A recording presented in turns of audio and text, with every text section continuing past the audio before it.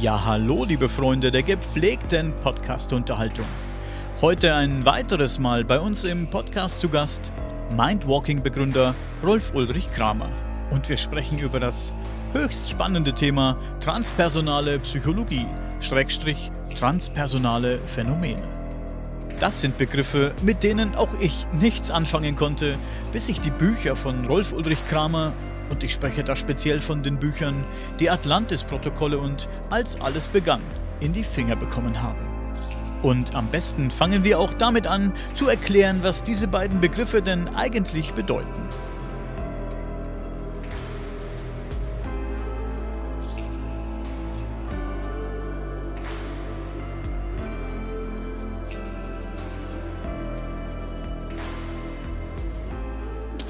Äh, am besten erklärt man, was Personal ist, denn transpersonal ist alles andere.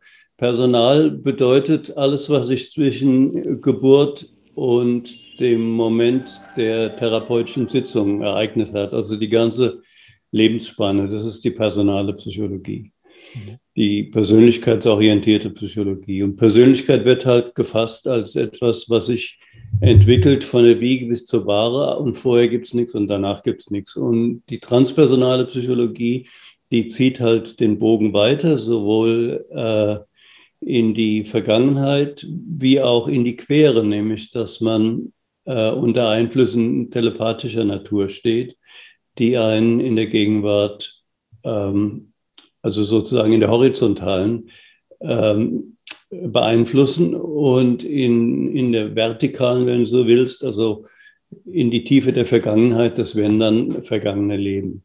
Mhm. Und das können, wie wir ja bei Mindwalking herausgefunden haben, eigene vergangene Leben sein oder angehängtes Material, was man sich von anderen Menschen heruntergeladen hat. Äh, es sind vergangene Leben, ja, aber es sind nicht unbedingt die eigenen. Und die Geschichte mit der Gegenwart, das sind Vernetzungen mit aktiven Wesen jetzt, die, die jetzt irgendwo herumgeistern und was von einem wollen. Äh, äh, wenn ich jetzt, wenn wir jetzt dieses Gespräch hier rein telepathisch führen würden, dann wäre das ein transpersonales Gespräch. Spielt denn die transpersonale Psychologie in der Schulpsychologie bei einem Psychologen, der jetzt eine andere Art der Psychologie betreibt, spielt das eine Rolle? Vielleicht in der Ausbildung sogar? Kriegt man da was, davon was mit oder ist es so ein Bereich, der fernab dessen ist, was man so als Standardpsychologe, sag ich jetzt mal, keine Ahnung, wie ich es anders benennen soll, mitbekommt, mit auf den Weg bekommt? Äh, dazu kann ich sagen, dass ich befreundet bin mit einer jungen Dame, die gerade ihren Master in Psychologie gemacht hat und jetzt äh, in einer Klinik ein Praktikum macht und eine professionelle Psychotherapeutin werden wird. Und von der weiß ich, dass jetzt in dieser Gegenwart von diesen Dingen keine Rede ist. Das äh, gilt nicht. Man darf nicht vergessen, äh, Psychologie versucht ja seit äh, 50 Jahren äh, sehr naturwissenschaftlich zu wirken. Und in Naturwissenschaft, da ist die höchste Wissenschaft die Physik. Und in der Physik wird das, äh, die Kultur des Experiments gepflegt, sodass man äh, Hypothesen aufstellt, Experimente macht, Theorien äh, widerlegen, verwerfen, diese ganzen Sachen. Dazu muss man Messungen machen, man muss Statistiken zusammentragen. Und ähm, seit sich die Psychologie mit dem Gehirn beschäftigen kann, bedingt durch die Fortschritte in der Neurologie, kann man also sozusagen die Seele oder die Psyche messen. Und deswegen rückt das Gehirn total in den Vordergrund. Äh, da liegt eine scheinbare Beweisbarkeit, über die freut sich dann der naturwissenschaftlich orientierte Psychologe. Und äh, wenn man da Karriere machen will, und das darf man nicht vergessen, in der Wissenschaft äh, muss man ja sich hocharbeiten, man muss sein Diplom machen, man muss doktorieren, wenn man habilitieren will, äh, kriegt man noch lange keinen Professorenstuhl. Äh, und das alles bedeutet, dass man sich im Rahmen des bestehenden Systems einen Namen machen muss. Und wer da andere Gedanken hat, der kommt im bestehenden System nicht weiter. Und äh, deswegen bin ich nicht im bestehenden System. Also es gäbe kein Mindwalking, wenn ich mich dieser, nennen wir es mal, akademischen Disziplin unterworfen hätte. Mhm. Es ist schon so, dass die Schulpsychologie hierzulande und vielleicht auch anderswo das menschliche Potenzial ein bisschen unterschätzt, oder? Das menschliche Gehirn, das menschliche Potenzial, weiß nicht, wie ich es ausdrücken soll. Ja, das ist richtig. Nee, sag nicht Potenzial, sondern sag Gehirn, denn äh, Potenzial ist, was wir verwirklichen können als Wesen, die wir sind, und Gehirn ist halt die, ähm, äh, das Organ, was uns zu dieser Verwirklichung zur Verfügung steht. Wenn du ein geschädigtes Gehirn hast, dann ist mit deinem ganzen Potenzial nicht mehr viel zu machen. Aber äh, wenn du ein volles Potenzial, wenn du dein Potenzial kennst und hast außerdem einen gut funktionierenden Körper, dann kannst du enorm viel machen. Das ist natürlich klar. Ähm, die, das, das höchste der Gefühle, würde ich mal sagen, in der gängigen Psychologie ist die Erkenntnis, dass es transgenerationale Phänomene gibt, dass also äh, die Enkel von Erlebnissen des Großvaters sprechen. äh, dass sich da also zum Beispiel äh, Geschehnisse, die sich auf der Flucht ereignet haben, der Großeltern, äh, dass die Enkel diese Geschichten auf einmal auspacken. Also das hat man immerhin schon erkannt, das ist ein großer Schritt vorwärts. Aber mehr ist da eigentlich nicht zu verzeichnen. Und die Entwicklung des Potenzials, ähm, die steht bei der klassischen Psychologie nicht im Vordergrund. Ähm, das liegt an der Geschichte der Sache. Äh, die Psychologie ist entstanden aus der Medizin. Also ich gebe zu bedenken, dass die ähm, Psychoanalytiker äh, des 19. Jahrhunderts, also Freud und Kollegen, das waren ja alles Ärzte. Und Ärzte beschäftigen sich mit kranken Leuten. Und deswegen war die Psychologie und die Psychoanalyse von vornherein eine Studie von Erkrankungen. Und die Frage ist natürlich, die der Arzt sich stellt, wie kann ich jemanden heil machen? Der Arzt fragt sich nicht, wie kann ich jemanden zu seinem vollen körperlichen Potenzial aufbauen? Das ist ein Gedanke, der jetzt erst durch diese ganze Sport- und Wellnessbewegung ähm, äh, populär geworden ist, dass man in die Muskelbude äh, geht und aus seinem Körper was macht. Das gab es früher nicht. Früher hat man ähm, jemanden gesund gemacht und mehr war es nicht. Und in der Psychologie hatten wir diesen Gedanken einer Persönlichkeitsentfaltung eigentlich nie im Vordergrund gehabt, wohingegen in den asiatischen Religionen das ganz stark im Vordergrund immer stand, dass man ähm, sowohl spirituell eine Erleuchtung erleben kann, wenn man nur dies und jenes lange genug tut, und außerdem durch entsprechende Disziplin und Mantren und Atemübungen ähm, ganz wunderbare Sonderfähigkeiten erlangen kann, die sogenannten Siddhis. Und dieses Kultivieren von Sonderfähigkeiten und das ähm, Erreichen einer Erleuchtung schafft eine Dimension, die es bei uns im Westen nie gab. Außer vielleicht in der Kirche, äh, wo man versucht, mit Exerzitien eine religiöse ähm, Erkenntnis zu erlangen oder dem, dem, dem, dem, dem Himmel näher zu kommen oder dem göttlichen Prinzip näher zu kommen. Aber das war eine fürchterlich spezielle Angelegenheit für einige wenige Mönche. Das war keine im, im Volk gab es das nicht und von Psychologen wurde es auch nicht verschrieben. Also das, das, das äh, gab es nicht. Man konzentriert sich hierzulande oder in der klassischen äh, äh, Psychologie schon eher auf die Dinge, die empirisch belegbar sind, sozusagen. Alles, was wir, ich sag mal so, alles Nicht-Materielle ist nicht oder nur ungern Gegenstand der Forschung. Völlig richtig. Die Physik kann sich nur beschäftigen mit dem, was man messen, wiegen und filmen kann. Und äh, ein Wesen, ein geistiges Wesen, das zwischen zwei Körpern äh, herumhängt oder außerhalb seines gegenwärtigen Körpers herumhängt, äh, das kann man nicht messen, filmen und wiegen. Und damit stößt die Physik an eine Grenze, an eine naturgegebene Grenze. Äh, deswegen denkt die Physik über diese Dinge auch nicht besonders nach. Die sagt dann, okay, ähm, das ist außerhalb der Physik, ist in Ordnung. Äh, Aber in der Psychologie hat man diesen Schritt nicht getan. Und das ist ein Vorwurf, den man der Psychologie machen könnte, dass sie über das Physische nicht hinausgeht, obwohl es genügend, ich meine, seit wir, ähm, seit Kolumbus, äh, haben wir genügend Kontakte mit fremden Kulturen gehabt, mit Schamanismus und mit äh, Zauber- und Wunderkulturen, um zu wissen, dass es da noch ein bisschen mehr gibt als ähm, äh, das Gehirn und seine Wirkung. Aber das hat nie gegriffen. Wir haben das als, ich, ich rede jetzt aus einem Erlebnis heraus, äh, darf ich mal kurz ausholen? Ich will einen kleinen. Sehr gerne. Sehr gerne. Äh, ich war äh, bei einem ähm, äh, Event der transpersonalen Psychologie äh, von der, der, British Psychological Society äh, und da haben verschiedene äh, Professoren ihre Vorträge gehalten, aber besonders transpersonal ging es da nicht zu. Und äh, es ging immer nur darum, dass der eine rät, was der im Nebenzimmer äh, gerade für Karten aufdeckt. Also es gibt ja so typische äh, Telepathie-Experimente, die ähm, äh, sehr mit dem, mit dem Lebensalltag nichts zu tun haben. Und dann kann man sagen, okay, wenn der mit über 50-prozentiger Wahrscheinlichkeit sieht, dass der gerade ein Herz Ass gezogen hat, dann muss an der Telepathie wahrscheinlich was dran sein.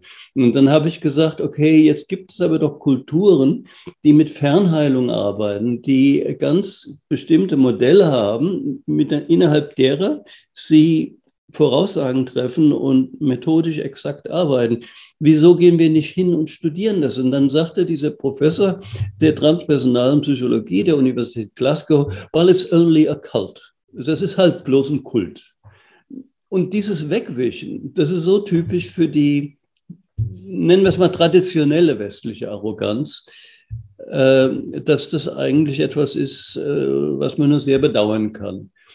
Geändert hat sich, und gleich bin ich fertig mit meiner langen Rede, geändert hat sich durch die Nahtoderfahrungen, die ja von Frau Kübler-Ross sehr lange dokumentiert wurden und dann einen riesigen Durchbruch hatten, weil ein eminenter Vertreter der äh, Neurologie, ein Arzt und Psychiater, auf einmal während eines Herzanfalls außerhalb seines Körpers sich befand, ein Nahtoderlebnis hatte und dann rund um die Welt reiste und dazu Vorträge hielt. Das hat die Sache also mächtig in Richtung, es gibt mehr als bloß das Gehirn gekippt. Aber äh, damit kommen sie halt nicht zurecht, weil sie kein Modell dazu haben. Es gibt äh, keine diesbezügliche Theorienbildung, anhand derer man, derer man jetzt ähm, äh, Beobachtungen sammeln würde. Und weil es diese Theorien nicht gibt, sammelt man die Beobachtungen am besten nicht, sondern sagt halt, ja gut, das gibt's und das nennt man halt Nahtoderlebnis und fertig. Mhm. Ich finde es auch immer wieder spannend. Wir haben das Beispiel aus so vielen anderen Kulturen, dass, dass solche Dinge einfach funktionieren. Wenn man ja. da ein bisschen mit offenem, mit, mit offenem Geist rangeht, das, das funktioniert einfach, muss einfach auch empfänglich dafür sein oder, oder offen dafür sein. Und ich, mich wundert es immer wieder, dass es hier noch so steif zugeht. Und wie gesagt, das ist das Ding, das wir machen und was anderes lassen wir da gar nicht zu. Ich finde es interessant, nach meinem Verständnis der ähm, transpersonalen Psychologie, was ich sehr spannend finde, ist es so, dass man im Gegensatz zur klassischen Psychologie sozusagen in die, wie soll ich es denn formulieren, in die tiefen Struktur des Bewusstseins eintaucht und dort nach verborgenen Dingen sucht, nach Überraschungen, nach ähm, vielleicht Dingen, die schief laufen oder richtig. Stichwort Atlantis-Protokolle zum Beispiel, dass man da Überraschungen entdeckt, mit denen man gar nicht gerechnet hat. Das kann diese Art von Psychologie erreichen. Schon, aber dazu müsste man bereit sein, solche Erinnerungseindrücke oder Bildeindrücke ernst zu nehmen. Und diese Bereitschaft existiert nicht. Ich habe ähm, bei einem äh, Workshop der, äh, des Scientific and Medical Network äh, in England äh, einen Vortrag gehalten über Mindwalking und die ähm, äh, Bilder, die einem da kommen aus vergangenen Leben oder aus äh, telepathischen Verbindungen oder aus Anhängseln und so weiter und dass daraus ja äh, ganz reale Persönlichkeitsentwicklung erfolgt. Also es bleibt ja nicht dabei, dass einer rumspinnt, sondern er spinnt ja nur rum, weil er ein Problem lösen möchte. Und nachdem die Rumspinnerei fertig ist, kommt er im Leben besser zurecht. Da ist er also sozusagen von etwas kuriert. Und ähm, die anwesenden Damen in diesem Workshop äh, nickten weise und sagten, well, it's all metaphorical. Das sind halt alles nur Metaphern, das sind alles nur Vergleiche. Mit anderen Worten, ja, man hört den Leuten höflich zu, aber man schaut, dass sie möglichst bald damit fertig sind. Und außerdem darf man nicht vergessen, so eine therapeutische Sitzung dauert eine Dreiviertelstunde, mehr zahlt die Kasse nicht. Und äh, da kommt man um diesen Blödsinn äh, sehr schnell drumherum. Äh, und was wir bei Mindwalking machen, ist, wir arbeiten halt ohne zeitliche Begrenzung. Deswegen können diese Dinge sich voll entfalten und dann kommen zu diesen absurden Geschichten eben Emotionen hoch und körperliche Schmerzen und Erkenntnisse. Und dann hat man es durchgestanden. Auf einmal hat man äh, einen neuen Blick aufs Leben. Das heißt, wir brauchen auch ein, ein, oder der Psychologe bräuchte auch ein Setting, das ihm ermöglicht, diese Dinge äh, hervorzurufen und denen nachzugehen. Und in der gängigen Praxis gibt es dieses Setting nicht. Ich will damit nur sagen, dass an der Psychologie eigentlich gar nicht viel verkehrt ist. Ich mache ja auch nur eine Standardpsychologie. Also könnte ich erklären mit ein paar Sätzen, wenn es dich interessiert. Aber ich will jetzt nur sagen, ich mache auch nur eine Standardpsychologie. Der Unterschied ist, dass ich nicht ähm, unter einem Zeit, unter einem äh, einengenden Zeitmanagement stehe, das die Krankenkassen vorschreiben, weil der, der Kassenpsychologe, wenn er sein Geld verdienen will, dann muss sich den Krankenkassen beugen. Und ich stehe nicht in einem, äh, wie soll ich sagen, in einer äh, Privilegien äh, oder, oder, oder äh, in einem Statuswettrennen, weil ich nicht ähm, doktorieren will und, und keinen Professorenstuhl haben will. Das heißt, ich kann mir eine Freiheit leisten, die äh, der normale Psychologe, der von der Uni kommt, einfach nicht vorfindet. Und das ist eine sehr, sehr einengende Geschichte.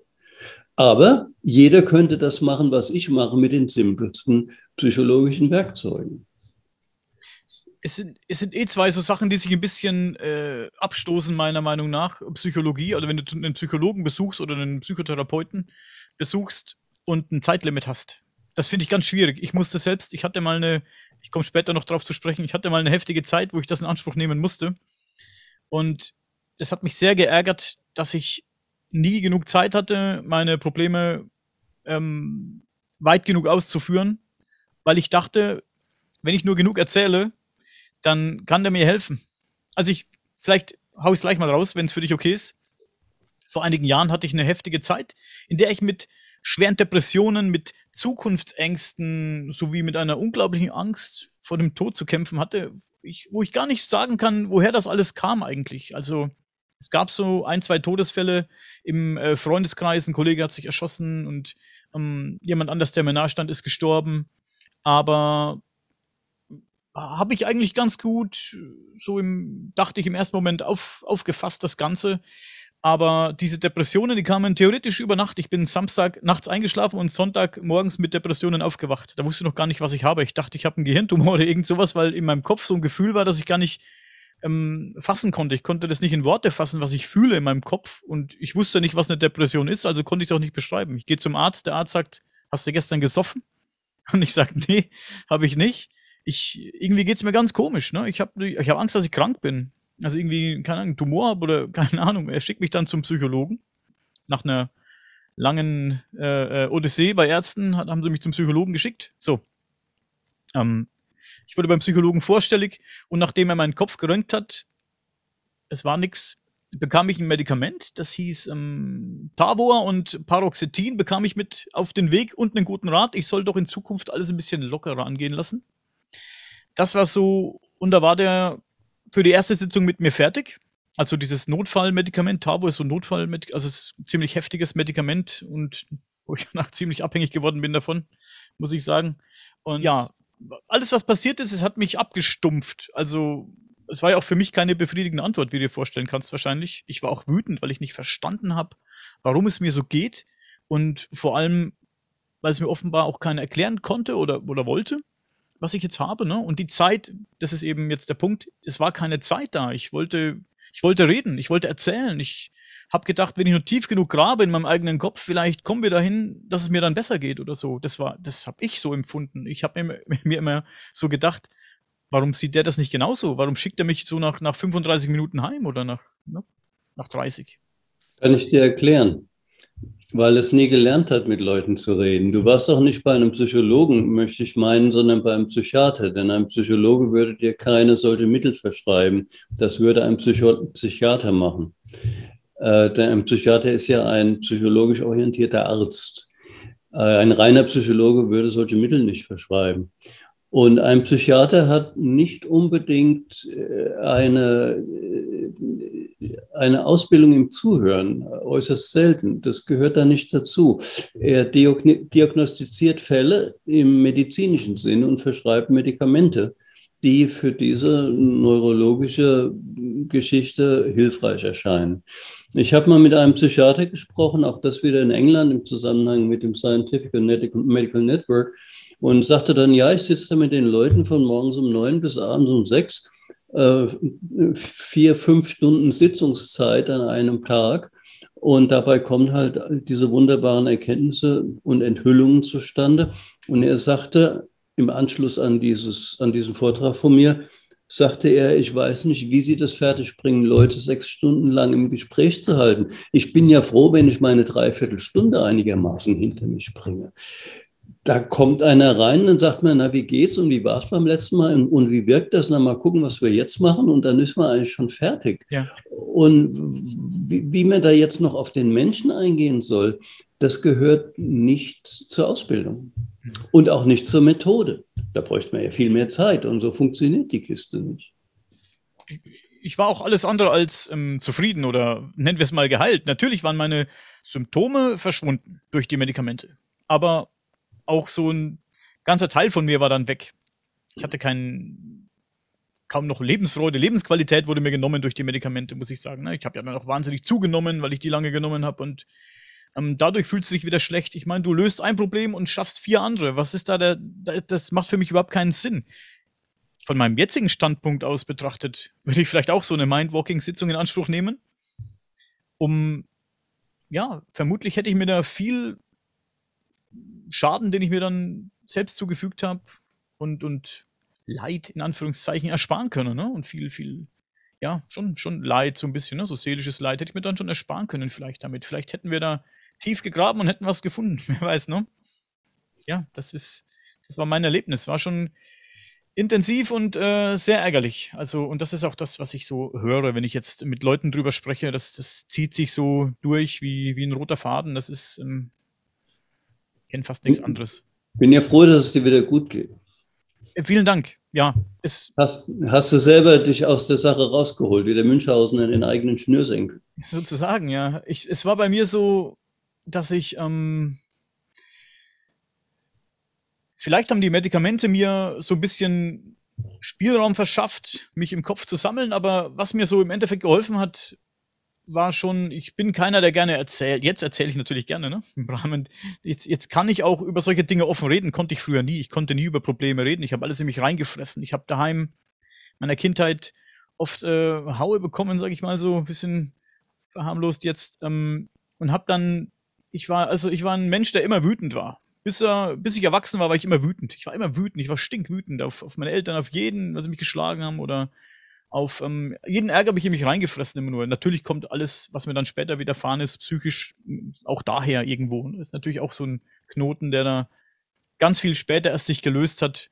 Ich habe mich da ja ein bisschen selbst auch rausgeboxt, indem ich ähm, mich selbst reflektiert habe und, und drüber nachgedacht habe, wo kann das herkommen, wo, wo, was habe ich, wo habe ich Mist gebaut. Ich habe jetzt auch noch meine Baustellen die sehr schlimm für mich sind und die mir psychische Probleme machen, aber damit lebe ich jetzt eigentlich ganz okay, sage ich mal. Aber ja, Selbstanalyse, sage ich mal, ein bisschen selbst an mir arbeiten hat mir dann geholfen, einfach um, ähm, auch zu erkennen, dass man ab und zu mal reden muss und nicht alles in sich reinfressen darf oder manchmal einfach sich gar nicht ärgert über Dinge, die einen ärgern. Einfach weißt du, einfach so mal abnicken, wenn was ist, was nicht so läuft und keinen Stress mehr machen. Das hat mir schon äh, viel gebracht, muss ich sagen, ja. Selbstreflexion. Naja, das Allheilmittel ist ja cool bleiben, das wissen wir ja. Aber bleib mal cool. geht nicht immer, das ist schon klar, ne? Das geht nicht immer. Du kannst nicht immer cool bleiben. Gibt auch Tage, wo ich mich wahnsinnig aufrege, aber dann denke ich mir, wofür? Ich, bin, ich werde jetzt 42, denke ich mir dann immer. Bisschen muss das Ding noch arbeiten hier drin, die Pumpe, ne? Ja, jetzt kann sich aus dem Latschen kippen wegen, wegen irgendwelchen Ärger. Ja.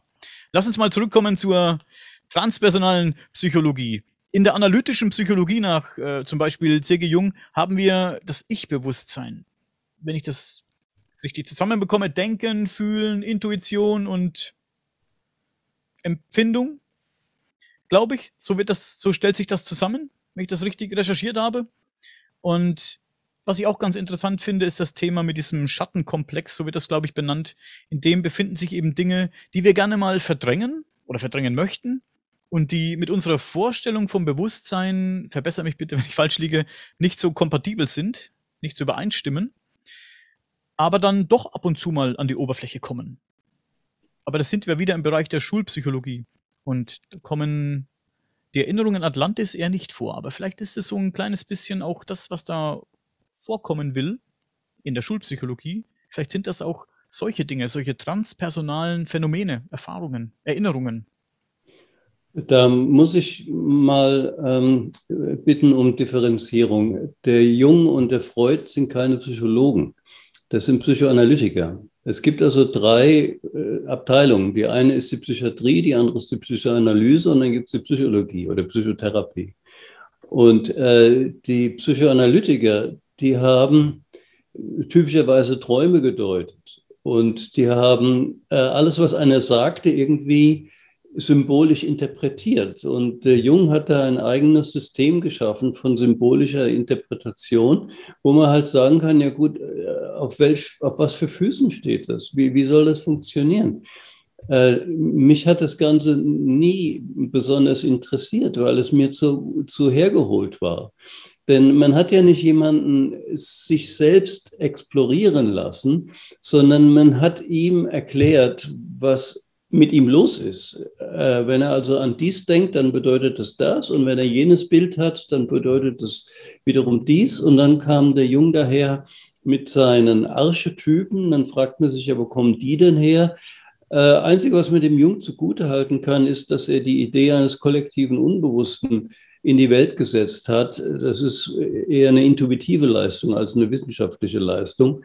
Äh, das kollektive Unbewusste, das würde ich unterschreiben und das gibt es ja auch in anderen Kulturen. Also Franz Bardon zum Beispiel spricht auch von kollektiven Unbewussten.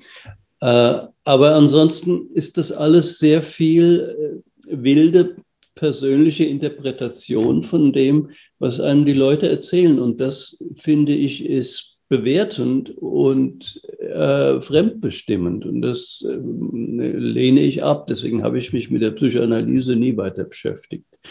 Guck, da gibt es so Sachen wie, ich habe das bei Freud gelesen, Freud sagte, ähm, die Männer sind den Frauen deswegen überlegen, weil früher in der Steinzeit, oder das typisch männliche Überlegenheitsgefühl kommt daher, dass früher in der Steinzeit die Männer in der Lage waren, das Feuer auszupinkeln und die Frauen nicht. Buchstäblich, ja.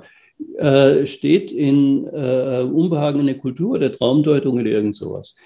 Und äh, der Jung, der hat es fertiggebracht, seine äh, äh, Kundinnen dermaßen zu bezirzen mit seinen eigenen Problemen, dass sie hinter ihm, hinterher ihm zugehört haben in den Sitzungen statt umgekehrt. Ähm, das sind so ungeheuer schräge Dinge, dass es mir keinen Respekt eingeflößt hat. Und Erkenntnisse der eigenen Tiefe, kommen nicht vom Klienten, sondern von dem interpretierenden Psychoanalytiker. Das darf man nicht vergessen. Und bei Mindfucking machen wir was ganz anderes. Wir sagen, was ist denn los mit dir? Wo ist das Problem? Und er sagt, er mag keinen Spinat. Und dann sagt man, okay, was kriegst du denn für Erinnerungen, als Spinat mal nicht so besonders angenehm war für dich? Und auf einmal ist man dabei, dass er in einem vergangenen Leben als, als ähm, Erntehelfer von einem Traktor umgefahren worden ist auf dem Spinatfeld. Und das kommt aber aus ihm heraus, einfach indem man fragt, was siehst du denn genau, was ist denn das, was heißt, du siehst jetzt einen Traktor, was hat ein Traktor mit Spinat zu tun? Ja, der ist auf dem Spinatfeld. Ja, was macht denn der Traktor? Ja, der kommt auf mich zu. Gut, erzähl weiter, jetzt fährt er über mich drüber. Und dann kriegt der Sitzungspartner einen Schauder und er kriegt Tränenanfälle und er kriegt Schmerzen an den Stellen, wo der, wo der Traktor über ihn drüber ist. Und nachdem er da durch ist, und das kann viele Stunden dauern, äh, kann er drüber lachen und sagen, Menschenskinder so ein Misten, jetzt verstehe ich, warum ich keinen Spinat mag. Und das ist eine selbstgewonnene Erkenntnis. Ob das stimmt, weiß niemand. Und wir behaupten ja auch nicht bei Mindwalking, dass das Realitätsdokumentationen ist, was die Leute da auspacken. Das kann man gar nicht beurteilen. Nur, jetzt mal beim Atlantis-Buch, wenn man jahrzehntelang, so wie ich, die Leute immer wieder bestimmte Geschehnisse äh, erzählen hört, die ganz klare Ähnlichkeiten haben, dann kann man sich natürlich nur denken, die können sich das nicht individuell ausgedacht haben oder, oder, oder die können nicht von ganz unterschiedlichen Zeiten und Orten reden. Das ist halt äh, ein Ding, das da ablief. Und das gehört alles zusammen. Mhm. Aber gut, das ist ähm, eine Schlussfolgerung, die ich leiste und die ist nicht wichtig, weil wichtig ist, was der individuelle Sitzungspartner in seiner Sitzung im Moment der Sitzung erkennt und bewältigt. Dass dann ein Sitzungsleiter wie ich, der das schon tausendmal gehört hat, sagt, guck mal an, das ist die bekannte Geschichte aus einem ganz anderen Blickwinkel. Das ist meine Leistung und die kann völlig falsch sein. Ja. Da, darum geht es nicht. So funktioniert, Mindwalking funktioniert nicht, weil wir eine Vorstellung von Atlantis haben, sondern weil die Leute mit ihren eigenen Bildern und Empfindungen zurechtkommen. Mhm. Da muss man großen Wert drauf legen. Du schreibst im Buch Atlantis-Protokolle allerdings auch über einen Realitätstest. Wie sieht denn so ein möglicher Realitätstest aus? naja, Realitätstest war nicht bezogen auf Atlantis, sondern war bezogen auf Sitzungen, ja. die ähm, sich auf Zeiten und Orte und Personen beziehen, mhm. die ähm, dann nachweislich existieren oder existiert haben oder positiv Veränderungen gemacht haben. Also ich erinnere mich an eine Sitzung, die ich äh, telepathisch mit einer Frau in Südafrika durchführte nicht, weil ich das wollte, sondern weil mich ihr Mann an, angeschrieben hatte und sagte, meiner Frau geht so schlecht. Und da ich die beiden halt freundschaftlich kannte, äh, bewegte mich das. Und schon während ich die E-Mail las, stand die Frau sozusagen neben mir. Äh, und ähm, ich habe sie dann telepathisch angesprochen und habe mit ihr gearbeitet. Und weder sie noch der Mann wusste was davon. Und ich habe auch nichts gesagt dazu. Und dann ein paar Tage später schrieb er, äh, Menschenskinder, der geht's wieder gut, hast du irgendwas gemacht? Und dann habe ich ihm das erzählt, äh, dass ich was gemacht hatte. Das ist also sozusagen ein Realitätstest. Oder die andere Geschichte, dass eine Frau sich darüber wunderte, dass ihr kleiner Sohn sich so ein bisschen merkwürdig benahm beim Spielen nachdem er aus dem Urlaub mit seinem Vater zurückgekommen war. Und äh, dann, stellte, dann bekam sie die Idee, dass mit dem sexuelle Spiele getrieben worden waren in dem Urlaub mit dem Vater. Und diese Bilder bekam sie dann ganz intensiv in der Sitzung und ließ die abrollen. Und dann hatte sie den Mut, zum Anwalt zu gehen und zum Sozialamt und der Mann konnte also tatsächlich äh, zu einem Geständnis gebracht werden. Und das ist ein Realitätstest. Also die sieht Bilder von etwas, wo sie nicht dabei war. Und der Sohn konnte ihr das nicht erzählen in diesen Worten. Der war ja plus drei. Und ähm, äh, hinterher stellt sich dann raus, dass da tatsächlich ein Fall vorliegt. Äh, so Sachen äh, gibt es gerade bei hellsichtigen Menschen natürlich ganz besonders. Also ich denke da jetzt an Ingo Swan, der ja der Mitbegründer des Remote Viewing ist. Der hat ja den CIA dadurch von seinen Fähigkeiten überzeugt, dass er da ein tief vergrabenes mit Beton und Stahl abgesichertes Dingsbums äh, entdeckt hat und genau beschrieben hat, was drin ist. Das war denen nicht sehr, sehr angenehm. Und das ist auch ein Realitätstest für telepathische Fähigkeiten. Also davon gibt es ganz viel. Du beschreibst in deinem Buch eine Sitzung, den Fall fand ich ganz spannend, in der eine Dame den tragischen Tod ihres Großvaters als eine Art Erinnerung nacherlebt. Die Dame kam offenbar mit dem Problem zu dir, wahnsinnig Angst vor dem Tod zu haben. Ach ja, richtig, ja. Sie wusste scheinbar, dass ihr Großvater kurz vor seiner Entlassung aus der russischen Kriegsgefangenschaft von einem Baum erschlagen wurde. ja, so war das. Und als dann dieses Ereignis hochkam und angesprochen wurde, löste sich sozusagen der Knoten. Und das Erlebnis hat sich vor dem inneren Auge abgespielt. Sie hat dann richtig mitgefühlt und mitgelitten und konnte sich an wichtige Details des Vorfalls erinnern. Und ich denke, dass das Ganze auch, wie gesagt, den Knoten ihres ursprünglichen Problems gelöst hat, ne, wegen dem sie zu dir kam. Ja, sie hatte große Angst vor dem Tod. Es stellte sich heraus, äh, dass äh, dieser Tod des Großvaters, der äh, nur insoweit bekannt war, als man wusste, der ist verunfallt im russischen Gefangenenlager vor seiner Entlassung. Mehr wusste man ja gar nicht. Also diese Details, dass da ein, ein, ein, bei Verladearbeiten ein Balken auf ihn drauf fiel, das war ja gar nicht bekannt. Das hat sie alles aus ihrer inneren Schau gesehen. Und ähm, dann äh, ging es aber äh, noch weiter und damit sind wir bei der eigentlichen Angst vor dem Tod. Der Großvater war, war nämlich nicht einverstanden mit seinem Tod, denn er wollte ja zu seiner Familie zurück. Er wollte, äh, er wollte heim und er war also absolut ähm, unwillig, tot zu sein wenn man das mal so will. Und deswegen hatte meine Kundin eine Abneigung gegen den Tod. Also Tod sein ist ungesund sozusagen. Ja. Und äh, der Großvater folgte dann seiner Frau und seinem Kind auf der Flucht. Und äh, die war nämlich gleichzeitig am Fliehen, wenn ich das richtig erinnere. Und die, seine Tochter verlor auf dieser Flucht ihren, äh, ihren Teddy oder ihre, ihre Puppe. Und äh, diese Tochter, die die Puppe verlor, wiederum ist die Mutter meiner Klientin. Und dann ging meine Klientin hin und fragte ihre Mutter, sag mal, ähm, ist da bei der Flucht irgendwas Dramatisches passiert, an was du dich erinnerst? Und dann sagt sie, ach, sagt die, sagt die Mutter, ich war ja noch so klein, aber ich habe meinen Teddy verloren. Das hat mir besonders leid getan. Das heißt, das hat sich dann bestätigt. Eine weitere Frage, die sich mir stellt, ist, wie sieht es denn aus mit Träumen?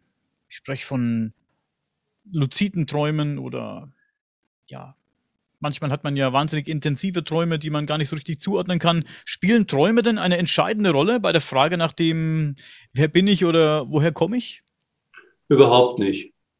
Zumindest nicht bei Mindwalking. Wir beschäftigen uns nicht mit Träumen, weil nach unserer Auffassung und nicht nur unserer Träume eine Verarbeitung von äh, stresshaftem Tagesmaterial sind, was wiederum alte Geschichten äh, einschalten und aufreißen kann, so dass aus dieser Kombination von Tagesereignis und alten abgelagerten Geschichten dann diese Traumstories zustande kommen.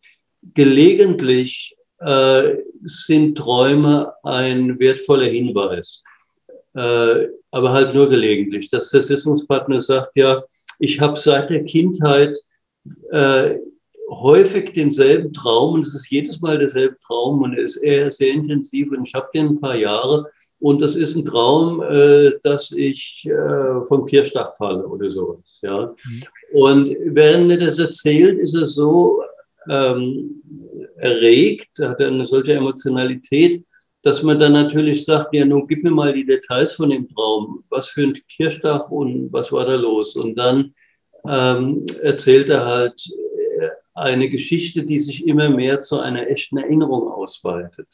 Das gibt es schon. Äh, das sind, äh, um diese echte Erinnerung sind dann alle möglichen Geschichten drumherum gepackt, die nicht dazugehören. Und indem man mit Bedacht und Geduld die Sache immer wieder durcherzählt, kommt dann am Ende das dabei raus, was netto sozusagen wirklich geschehen ist. Und dabei bleibt der Sitzungspartner dann auch und fühlt sich erleichtert. Mhm. Ist es denn so, während so einer Mindwalking-Sitzung, ist es ein neutraler Zustand, in dem ich mich befinde oder redet man sich da auch so ein bisschen in so ein vielleicht ist das das falsche Wort, in so eine, in so eine Art Trance, dass man wirklich durch diese intensiven, konzentrierten Gespräche in so einen leichten, tranceartigen Zustand sich, sich brabbelt. Ich möchte mal ein Beispiel nennen.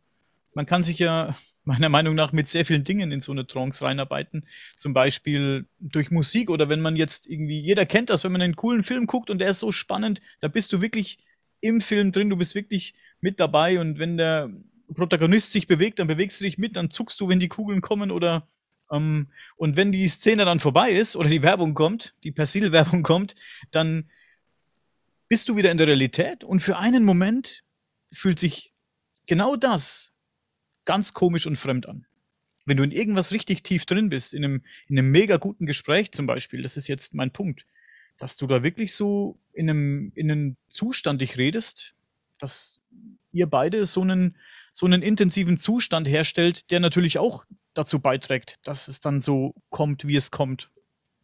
Na gut, äh, so einen Zustand herzustellen, ist ja die Verpflichtung eines jeden guten ähm, äh, Zuhörers oder Präsentierers. Also wenn du zum Beispiel als Kabarettist oder als Musiker oder als Schauspieler auf der Bühne stehst, dann willst du ja die Aufmerksamkeit deiner Zuschauer so bannen, dass sie nicht mal mehr äh, atmen und das Niesen vergessen und so weiter. Das ist im echten Sinn eine Trance, denn eine Trance ist eine Fixierung auf einen Punkt bis dahin, dass man den Rest der Welt gar nicht mehr wahrnimmt.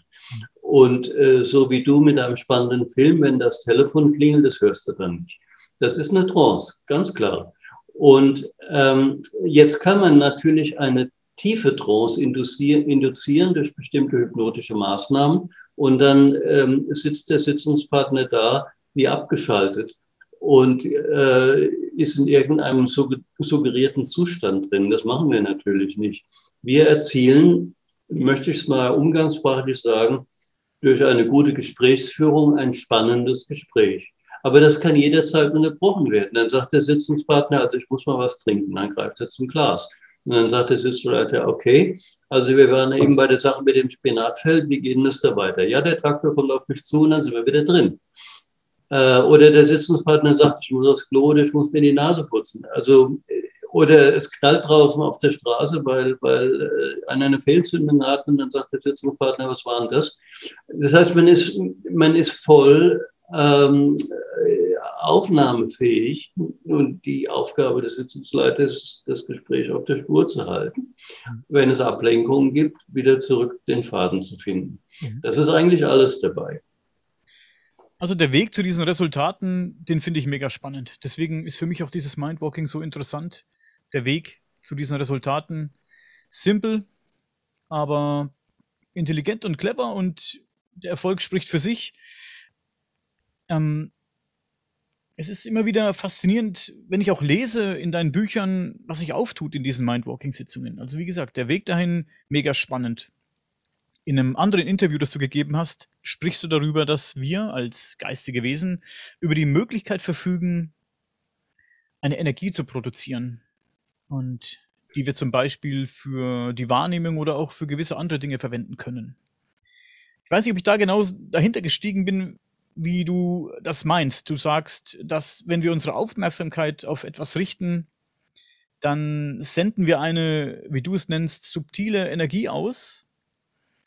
Ja, wir versenden Aufmerksamkeit, ein ganz, ganz banales Wort. Wenn du dich konzentrierst, ist es anstrengend. Es ist, passiert ja nicht von selbst, du musst was tun. Du kannst dich nicht ewig konzentrieren. Konzentrieren erschöpft dich nach der Zeit. Und das ist nicht nur eine Hirnsache oder eine, eine äh, Stoffwechselsache, sondern ähm, das ist eine geistige Sache. Und dieses Aufbringen von Aufmerksamkeit ist ein mental-energetischer Akt.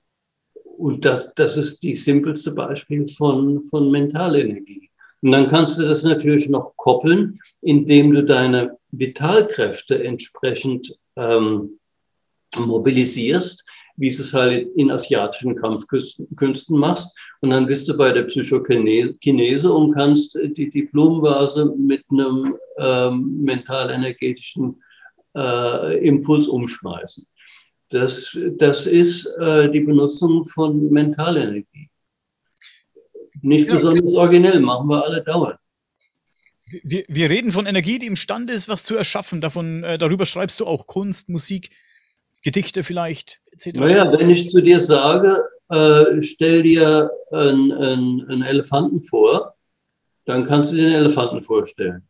Und wenn ich jetzt sage, stell dir den Elefanten vor, äh, wie er auf der Kirchturmspitze sitzt oder wie er auf der Kirchturmspitze aufgespießt ist, ja, dann ist das vielleicht ein bisschen mühsam, aber du kannst, weil du weißt, was eine Kirchturmspitze ist und weil du weißt, was ein Elefant ist und weil du weißt, was Aufspießen ist, kannst du dir einen armen Elefanten, der zufällig vom Hubschrauber heruntergefallen ist, äh, auf der Kirchturmspitze aufgespießt vorstellen. Das ist ein Erschaffungsakt. Und dieses Bild existiert jetzt für dich in einer bestimmten Intensität. Und wenn ich jetzt zu dir sage, David, links von dir auf dem Ordner, was steht denn da für ein Wort? Guck mal hin, links von dir auf dem Ordner. Daniel. Ähm, da steht da, Schule steht da drauf. Gut, Schule, entschuldige, äh, ich habe David jetzt da. Alles gut. Ähm, da steht Schule drauf, gut. Und Jetzt ist der Elefant weg und der Kirchturm. Aber jetzt, wo ich das Stichwort wieder gebe, kannst du es wieder aufbauen. Das heißt, du baust Bilder auf, auf ein Stichwort hin, dann gehen sie wieder weg. Wenn du dich was mit was anderem beschäftigst, dann baust du sie wieder auf. Mhm. Das ist das Aufbauen von ähm, mental-energetischen Konstruktionen. Und darauf beruht zum Beispiel Magie. Wenn du das intensiv genug machst, dann kannst du dir irgendwas Übles ausdenken und machst da ein Paketchen draus und hängst das jemand an. Und dann wird er krank oder geistesgestört oder sonst was. Das machen sie im Voodoo. Das sind alles mm, nachweisbare Geschichten. Kann man alles machen.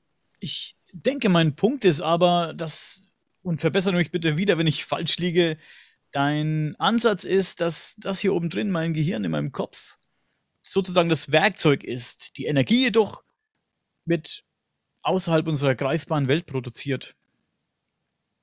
Nein, das Gehirn ist nicht das Werkzeug, weil du produzierst ja diese Energie auch, wenn du außerhalb des Körpers bist. Wenn du einen Unfall hattest und schwebst 50 Meter über dem Unfallort und siehst, wie die Sunnis deinen äh, verletzten Körper in die, in, in, in die Ambulanz äh, reinschieben, dann bist du ja jemand, der ohne Körper aus 50 Meter Höhe genügend Aufmerksamkeit produziert, mhm. um das wahrzunehmen. Ja. Also wird das ohne Gehirn vollzogen. Mhm. Der Geist kann zur Materie werden. Das hat Hans-Peter Dürr gesagt. Mir heute erst angeguckt. Interessant. Ähm, ich, vielleicht war jetzt das ähm, Wort Werkzeug ein bisschen falsch gewählt, ja ich meine, ich brauche ja mein Gehirn, um meine Hände zu bewegen und um Dinge zu schaffen, brauche ich ja meine mechanischen, meine mechanischen Fähigkeiten. Du brauchst dein Nervensystem, um die entsprechenden Impulse zu setzen. Das ist richtig. Aber die werden nur gesetzt, weil du einen Willen hast. Ja. Und eine Vorstellung, wie es sein soll. Und dann wird es ausgeführt. Und der diesen Impuls gibt, diese Vorstellung hat, bist halt du.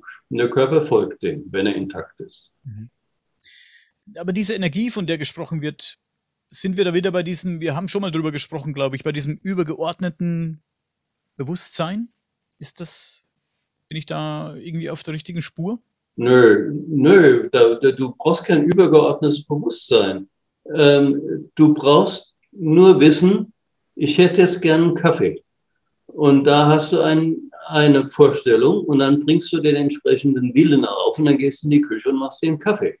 Und das ist alles, was hier passiert. Du hast eine, bewusst einen Wunsch und der Wunsch ist dir bewusst und dann bringst du die Kräfte auf, die du brauchst, um diesen Wunsch zu erfüllen. Dazu benutzt man normalerweise einen Körper, den man in der Gegend rumschickt.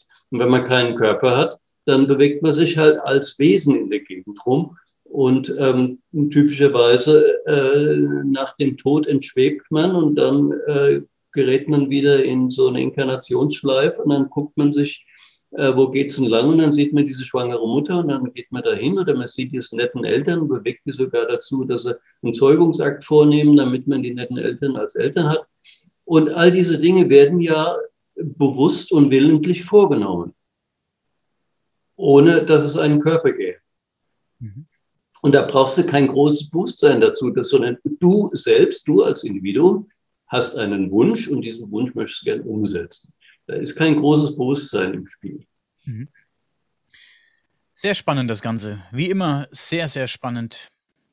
Und äh, wer darüber nachlesen möchte, ich werde die Bücher natürlich von Rolf Ulrich Kramer verlinken unter dieser Folge.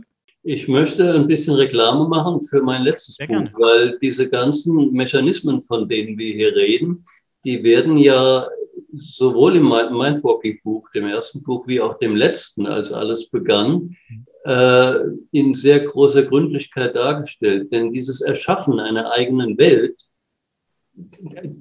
äh, äh, da, da, da beginnt ja etwas, was man zu einer Welt macht.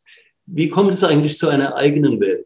Das ist der, das Thema dieses Buches, als alles begann. Und dann ist natürlich die Frage, wie kommt es zu unserem gesamten Universum und haben wir das vielleicht alle zusammen erschaffen? Antwort ist ja.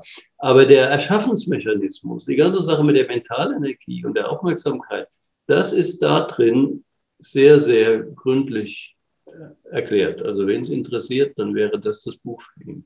Ja, werde ich natürlich einblenden und verlinken. Ähm, wie lange hast du an diesem Buch gearbeitet? Ähm, ich würde mal sagen 30 Jahre, weil äh, es, die, die, die, die, die Grundbeobachtungen, die immer wieder gemacht wurden und notiert wurden, die habe ich ja über viele, viele Jahrzehnte zusammengetragen und zu Papier gebracht. Und als es dann, sagen wir mal, unzweifelhaft geworden war, wurde es auch unwiderruflich, dann muss es gemacht werden. Hm. das ist so ein bisschen ähnlich wie das Atlantis-Buch. Die Beobachtungen dazu, die liefen ja auch über Jahrzehnte. Und äh, dann liest du alle möglichen Bücher, um zu gucken, liegst du richtig, liegst du falsch, was sagen die anderen. Und all diese Arbeiten, die ziehen sich ja über lange, lange Zeit hin das Schreiben eines Buches dauert vielleicht nur ein Jahr, aber die ganze Vorgeschichte, das ist das, was richtig Zeit dauert. 30 hm. Jahre, 30 Jahre plus. Das ähm, finde ich, merkt man, wenn man das Buch liest oder die Bücher liest. Ich finde das ähm, höchst interessant, obwohl ich immer ja der Skeptische bin, der skeptische Part hier in diesem Projekt und der Skeptiker bin. Ich bin auf dieser Mindwalking-Sache ganz schön hängen geblieben, muss ich sagen. Ich finde das ähm, sehr, sehr spannend und ich glaube, da ist mehr dran, als äh, viele denken. Hm, ich, ich habe heute erst wieder drin gelesen und ich habe mir diesen, äh, was ich vorhin vorgelesen habe, diesen Fall da rausgeschrieben mit der Dame, deren äh, Großvater gestorben ist in Kriegsgefangenschaft das saugt sich keiner aus den Fingern. Und, ja, eben. Und, und äh, es ist jetzt ein Fall von vielen. Ich habe auch den Fall gelesen mit dem äh, Jungen, den du vorhin angebracht hast, der da missbraucht wurde, offenbar. Mhm. Und noch viele andere. Das sind Sachen, natürlich kann man sich das ausdenken. Und wer das jetzt denken möchte, dass es ausgedacht ist, der kann das natürlich denken, aber. Ja, aber das mit, mit dem Ausdenken ist eine übermäßig komplizierte ähm, Erklärung, weil du müsstest, in der Sitzung kommst du drauf. Also es, es, es fällt über dich her, es fällt dir ein, buchstäblich, ja. Weißt du, die, früher die Dia-Projektoren, wo du so ein Dia in den Schlitz geworfen ja. hast, ja, dann fällt das Bild da rein und geht dann auf die Leinwand. Und dann wird der Sitzungspartner regelrecht erschlagen von dem Bild, was sich ihm da auftut, das er eigentlich gar nicht sehen will. Jetzt könnten wir sagen, ah ja, das hat er sich halt ausgedacht, um seine eigene Situation zu erklären. Aber dann müsste er sich ja ausgedacht haben und vergessen haben, um es dann wieder entdecken zu können. Und das ist eine sehr schwierige Konstruktion. Äh, denk dir mal was aus und vergiss es so heftig, dass du es 20 Jahre später wieder neu entdecken kannst. Also ja. mach das mal. Geht nicht. Das ist auch gar nicht möglich. Ja. Wie ist es denn für dich, wenn du, wenn du noch fünf Minuten Zeit hast, auch noch? Ist es ja, denn für dich? Du, du, du hast eine wunderbare Art, äh, simple Fragen zu stellen und, und genau darauf kommt es ja an. Mach nur weiter. Vielen Dank. Wenn du in deinen Sitzungen bist, wo zweifelst du, dass das Gehörte, dass da was dran ist und wo, wo bist du überzeugt? Machst du das in irgendwas fest? Kannst du das in irgendwas festmachen? Oder sitzt du danach manchmal bei so einer Sitzung dran, denkst dir, was ich jetzt gehört habe, ist wirklich, ich sag's mal, Bullshit oder ist Käse, das, das, das ist jetzt irgendwas, was nicht daher kommt, wo es sonst herkommt. Kannst du das in irgendwas festmachen oder gibt es da so eine, so eine, sagt man denn, so eine, so eine Verifizierung, wo du sagen kannst, da ist was dran und da nicht? Naja, es hat äh, zwei Komponenten und äh, genau genommen eigentlich drei. Äh, die eine Komponente ist Logik. Also ähm, passt das? Wenn mir einer sagt, ähm, die zwei Raubritter hauen mit ihren Schwertern aufeinander drauf und dann guckt einer auf seine Rolex und sagt, ich glaube, wir sollten mal einen Tee trinken, dann stimmt an der Geschichte Verschiedenes nicht, weil Raubritter hatten keine Rolex und Tee gab es zu der Zeit auch keinen. Also da würde es bedeuten, in dem Fall, und das kann geschehen, dass sich hier drei Geschehnisse ineinander schieben. Und äh, dann sagt der Sitzungsleiter vielleicht auch, das ist schon, äh, der Sitzungspartner vielleicht auch, das wäre irgendwie komisch. Und dann sagt man, okay, was siehst du denn hier? Ist das vielleicht ein Bildergemisch? Dann sagt er, ja, ich glaube, ich sehe hier, äh, da prügeln sich zwei mit Fäusten und der eine guckt auf die Rolex und dann habe ich hier irgendwas, ähm, irgendwie in England, Zweiter Weltkrieg, da trinken sie auf einmal Tee im Schützengraben. Aber jetzt bin ich wieder bei meinen Raubrittern. Das heißt, wenn sich solche Dinge anschleichen, die nicht passen, dann haben auch sie ihre Richtigkeit, gehören aber woanders hin. Nur über Assoziation, nämlich Kampf, kommt der Schützengrabenkampf und der, die, die Prügelei, die kommen dann halt da zusammen und dann gibt es ein Bildergemisch. Also hast du eine Logik, äh, die du ähm, äh, die, du, die du zum Tragen bringst, wenn irgendwas nicht ganz passend erscheint. Ja? Äh, oder es sagt einer, ähm, äh, ich, es, es klingelt, ich renne runter auf die Straße und dann ziehe ich mir die Hosen an. Moment, wann hast du dir die Hosen angezogen? Bevor du auf die Straße gerannt bist oder nachdem du schon auf der Straße warst? Solche Fragen muss man unbedingt stellen. Das ist ähm, bei der Kripo ja auch so üblich. Die gehen ja auch nach normalen Erwartungswerten vor. Man geht davon aus, dass er einer auf die Straße rennt, nachdem er sich die Hosen angezogen hat, denn umgekehrt. Sollte es andersrum sein, muss es dafür eine Erklärung geben. Also diese nennen wir es mal kriminalpolizeiliche Verhörtechnik, ist ganz, ganz wichtig bei Mindwalking. Was dazu kommt, um die Sache ernst äh, wirken, also um die Sache ernst zu nehmen, ist die äh, emotionalen Wallungen und die körperlichen Schmerzen und Empfindungen, die der Sitzungspartner hat. Wenn er dann sagt, mir wird es auf einmal ganz kalt, oder, oder was ist denn hier mit der Temperatur? Ich fange ja an zu schwitzen. Dann sagt man, okay, kommt das eventuell aus dem Geschehnis? Ja, ähm, äh, ich glaube, ich, äh, ich gefriere da in einem Gletscher oder so und deswegen ist mir jetzt ganz kalt und so weiter. Also diese, diese nicht fabrizierbaren Emotionen und speziell Somatiken, die sprechen ja ihre eigene Sprache. Dann weiß man, man liegt hier richtig. Abgesehen davon, entdeckt der Sitzungspartner was und das ist ein Unterschied äh, zum Vorstellen. Wenn ich mir was vorstelle, dann stelle ich es vor mich hin. Ich stelle eine Kirchturmspitze vor mich und da stelle ich einen Elefanten davor oder da drauf und setze ihn darauf. Wenn mir was einfällt, dann, dann, dann geht, was ist denn da? Ja, das ist äh, äh, ein Schreck.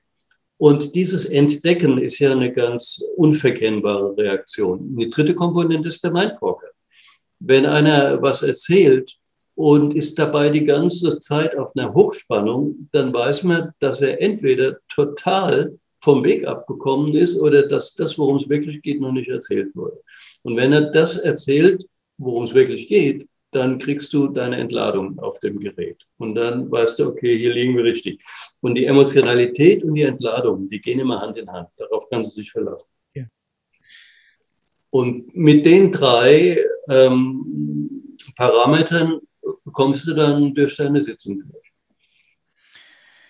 Wie viel, welche Rolle spielt denn Sympathie? Kommt mal jemand zu dir, manchmal lernt man jemanden kennen und denkt sich, den mag ich nicht. Erster Eindruck, Intuition, klappt es manchmal auch nicht mit so einer Sitzung? Äh, nö, klappen tut es immer. Äh, und äh, Sympathie spielt eine Ich würde mal sagen, Sympathie spielt eine Rolle, wenn sich einer seinen Sitzungsleiter aussucht. Den kann er sich auf der Webseite aussuchen und kann dann sagen, okay, der gefällt mir. Deswegen kommen Leute, lesen Leute meine Bücher und sagen, oh, das möchte ich machen. Gucken sie auf die Webseite und gehen nicht zu mir, sondern zu jemand anderem. Äh, das ist der Sympathiefaktor. Wenn dann jemand da ist, natürlich hat man nicht alle Leute lieb. Manche Leute, mit manchen Leuten hat man eine rein, äh, wie soll ich sagen, geschäftliche Beziehung, mit anderen äh, entwickeln sich äh, interessante Privatgespräche in den Pausen über dies und jenes. Äh, das ist ganz unterschiedlich. Aber am Ende zählt halt die Professionalität. Wenn du zum Anwalt gehst, oder zum Zahnarzt, dann ist nicht entscheidend, ob du den nett findest, sondern ob der seinen Job ordentlich macht. Ja. Das merkt der Kunde ja sehr, sehr schnell, dass er hier bei jemandem ist, der sein Handwerk versteht. Und dann ist alles in Ordnung.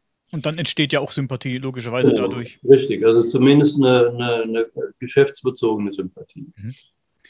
Ich habe vorhin eingangs noch äh, eine Frage, die, ich, die hatte ich vergessen zu stellen. Und zwar haben wir gesprochen über diese transpersonalen Phänomene und diese transpersonale Psychologie.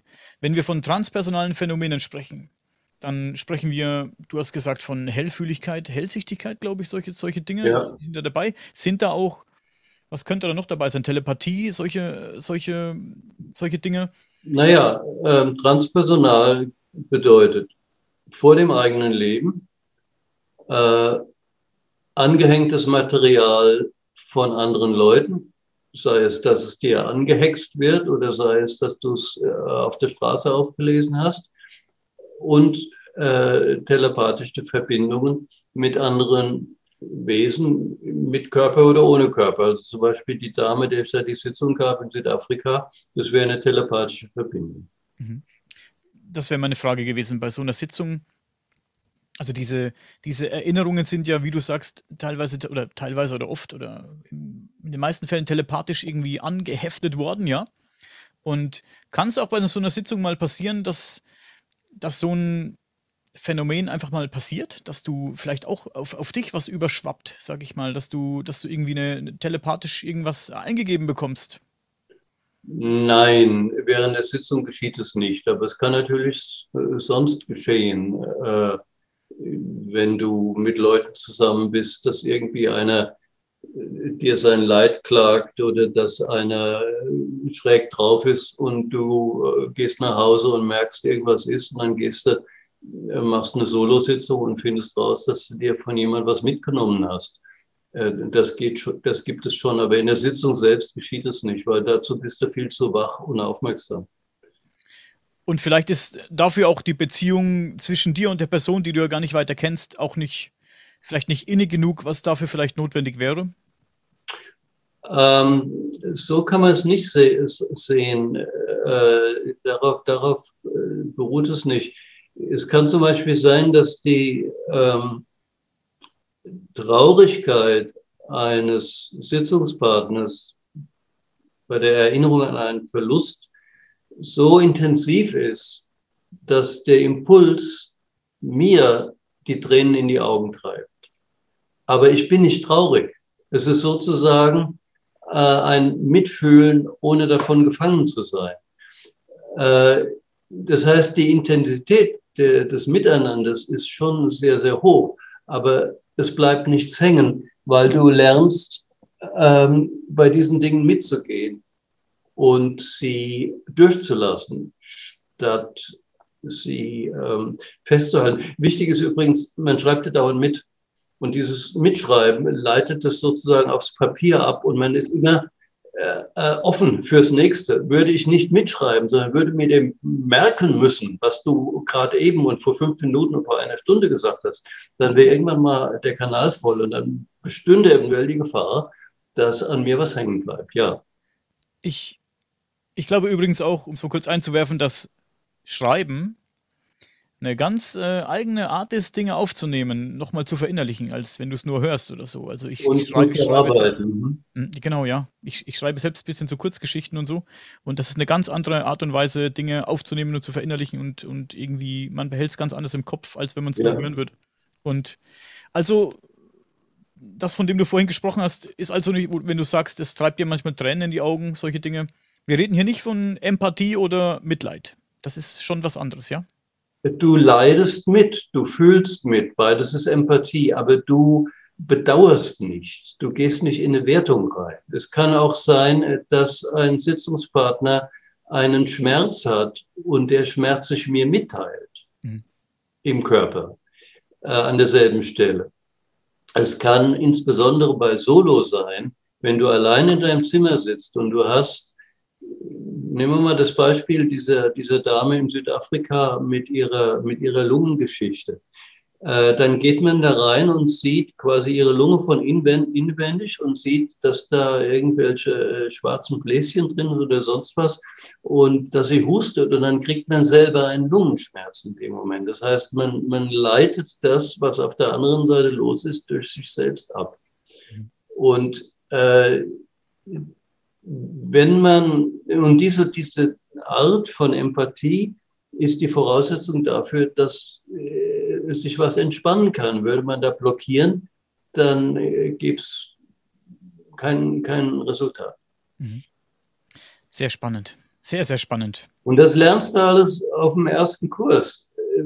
Die Voraussetzung dafür natürlich nicht die brillante ähm, Umsetzung, das ist Übung, aber der Kommunikationskurs, der erste Kurs ist, der gibt dir die Voraussetzung, dass du überhaupt Sitzungen auf diese Weise geben kannst. Der Rest ist dann Übung, aber man muss diese Kommunikationsform erlernen und gezeigt bekommen, sonst wird das nichts. Mhm. Abschließend noch, wie dieses Mindwalking hat sich ja, seit du es ähm, hervorgebracht hast, stetig verbessert, nehme ich an. Es, es, es ist wahrscheinlich bist, hast du in, immer andere Herangehensweisen ähm, mit eingebracht. Und ja, die Technik, alles hat sich ein bisschen verbessert und verfeinert.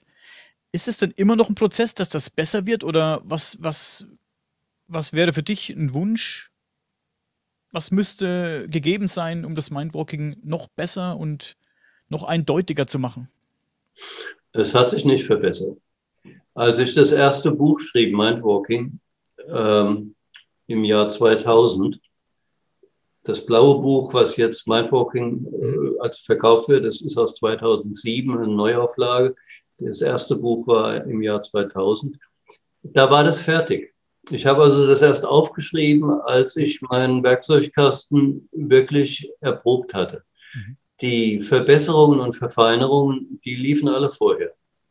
Und das dauerte auch seine zehn Jahre oder so ähm, bis ich, ich meine, ich habe einen Psycho-Hintergrund und ich habe einen asiatischen Hintergrund und die beiden, also von der Philosophie her und auch Yoga und Meditation und diese äh, Aikido und so weiter, diese Sachen, die, die wurden alle miteinander verbastelt und das dauerte eine Weile. Und ähm, äh, als es dann soweit war, dass man mit dem dass ich das auf ein ganz bestimmtes Handwerkszeug reduzierte, reduziert hatte. Dann schrieb ich das erste Mindwalking-Buch im Jahr 2000 und ab da hat sich eigentlich handwerklich nichts geändert. Mhm. Du hast also, um es dann dahin zu bringen, wo es ist, an dir gearbeitet. Das ist ja eine Arbeit an dir selbst, an, an, wie du, wie du. Die Erkenntnis, die Eigenerkenntnis ist ganz, ganz äh, zentral. Ja. Das ist, das ist richtig. Ich habe mit vielen Leuten gearbeitet, die ähm, experimentell gesinnt waren. Ich habe mit vielen Kunden gearbeitet, so gut ich eben auf dem damaligen Stand meiner Kenntnisse arbeiten konnte und habe dadurch äh, gelernt, aber die Eigensitzungen, die man von anderen, von Kollegen erhält oder die man solo macht, die sind unbedingt nötig, um das zu verifizieren. Sonst steht man ja draußen, ja. Man, man kann ja den Sitzungspartner nicht beobachten wie ein Fisch im Aquarium. Ja. Man muss selber mal geschwommen haben, um das zu kapieren, was da los ist. Hm. Sehr interessant, das Ganze. Wirklich sehr interessant. Und ich freue mich, dass du dir nochmal die Zeit genommen hast. Ich denke, hier machen wir für heute Schluss. Bleib lass, bitte mich noch, noch einen, lass mich noch einen Satz sagen, bitte. Ja, gerne. Äh, der schließt sich jetzt direkt an an deine letzten Worte. Was mich sehr beeindruckt hat, eben beim Studium der asiatischen ähm, nennen wir es mal Erleuchtungswege oder Geistesschulungen war, dass der Guru es kapiert haben musste, dass er weiter sein musste als sein Schüler. Also der Guru ist ja einer, das Wort Guru heißt übrigens, ähm, äh, ich glaube, es heißt äh, Nacht und Licht. Also es, der Guru führt einen aus der Nacht ins Licht. Und ähm, das heißt, der Guru muss wissen, wie es sich anfühlt, wenn es gut ist. Und er muss also diesen Weg gegangen sein, um dann jemanden anderen zu begleiten, damit er auch den Weg geht. Und das gibt es in der westlichen Psychologie nicht. Das gibt es auch in der Medizin nicht. Nicht, nicht viele Ärzte sind gesund. Äh, das, nicht viele Psychologen haben ein balanciertes, ausgeglichenes Leben. Diese Arbeit an sich selbst, äh, dass man da quasi so gut es irgend möglich ist, vorbildhaft wird, das ist eine Sache, die ich aus ähm, Indien und also Buddhismus, Hinduismus mitgenommen habe. Glaubst du, wir kommen irgendwann dahin? Wohin? Ähm, zu dieser Offenheit, zu diesen Du sagst ja, wir sind hier noch nicht so weit. Wir haben das. Ja, ich, äh, ich bin mir sicher, dass wir da hinkommen. Es gibt viele gute Ansätze. Zum Beispiel gibt es eine positive Psychologie, die eben nicht das Kranke heilen will, sondern die Leuten helfen will, aus dem Leben was zu machen. Das ist natürlich jetzt auch wieder sehr äh, westlich und, und nennen das mal effizient und erfolgsorientiert und happiness-orientiert. Die Asiaten, die haben es ja nicht so mit der Happiness, sondern mit der mit der, äh, was die Christen wiederum auch haben, die, die mystische Einheit, die Vereinigung mit Gott, die Ekstase äh, der Spiritualität. Ähm, das ist das, worum es im, im Osten eigentlich geht. Aber zumindest haben wir im Westen so langsam die richtigen Ansätze. Denn man vergesse nicht, wir haben seit 1970 äh, große weltweite Meditationsbewegungen aus Indien importiert äh, transzendentale Meditation, buddhistische Meditation und so weiter und so weiter. Da haben wir so viele Leute dran mitgemacht. Und diejenigen, die jetzt auf der Uni sind, die können nicht mehr so stur und orthodox sein wie ihre Professoren. Also Max Planck sagte mal, die Wissenschaft kommt dadurch äh, voran, dass die Altgedienten aussterben. Ich meine, äh, das dauert. Das stimmt. Das ist richtig. Ja, Ulrich. Okay, das war mein letzter Satz. Ich wollte nur sagen, diese Vorbildfunktion eines, eines Führenden, äh, die hat mich beeindruckt und deswegen machen wir bei Mindwalking so viele Eigensitzungen und Solositzungen, um überhaupt den Sitzungspartner entsprechend führen zu können. Bleib du bitte noch zwei Minuten bei mir. Ja. Für die Zuschauer und Zuhörer sage ich vielen Dank und bis zum nächsten Mal.